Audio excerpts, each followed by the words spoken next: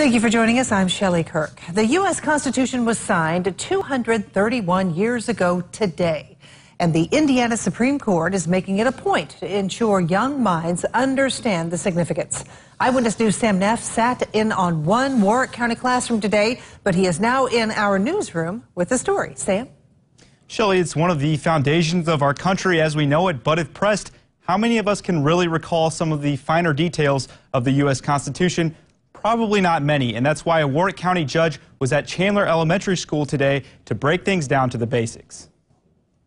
On Constitution Day, a Warrick County magistrate who will begin serving as Supreme Court judge in January met kids from the same school she went to when she was their age. The more you know about the Constitution now and your rights, influences how you interact with the government, um, what kind of careers you have. I mean, I think it's so important. What I wanted to get across is that there are certain freedoms and liberties that are guaranteed in the Bill of Rights. Much of Amy Miskimen's time was spent highlighting the first 10 amendments to the Constitution, in particular, the first, fourth, sixth, and eighth.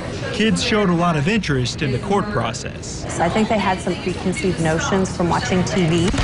And I think that uh, hopefully this helped spell out, well, no, this is what really happens. And there are certain things you don't need to learn about till like a little later in your life, but um, I think it's really important to know about our Constitution and everything because our, I don't feel like um, our world would be the same without it. Yeah, I think everybody learns at least one thing from crimes to little things like stealing toys from for little kids like like if it's like a really good toy and like it's really expensive, you could still go to court for that. Everything can have a consequence. From explaining the rights of freedom of speech to a speedy and fair trial, Miskimen says she was impressed with the questions she received from kids who sit where she once sat, even if they don't go on to sit where she does now. It's just something uh, I wouldn't want to do, but uh, somebody's got to do it. Yeah. Shelley, 48 judges from across the state met with nearly 3,000 students today for Constitution Day. In the newsroom, Sam Neff, Eyewitness News. Thank you, Sam.